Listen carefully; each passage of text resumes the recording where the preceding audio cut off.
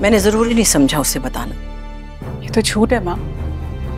हया मुर्तसम भाई के साथ गाँव गई हुई। जानती हूँ। मैंने ही दोनों को भेजा है। तो फिर? हया आजकल मीरब की चिड़ है। और मैं मीरब को इस कंडीशन में कोई टेंशन नहीं देना चाहती। बस एक दो दिन की बात है। तुम अपना मुँह बंद रखना। कब तक छुपाएँगी आप?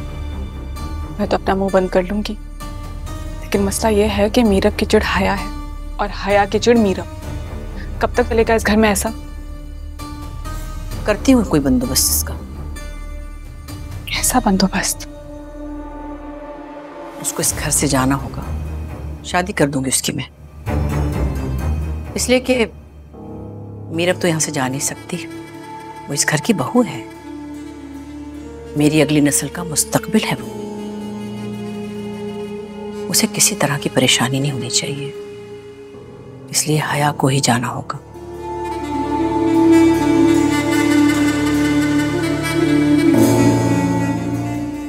आजरा वो जितना सामान रखा है फ्रूट वगैरह, मस्जिद भिजवा दो और मज़ार पे भी।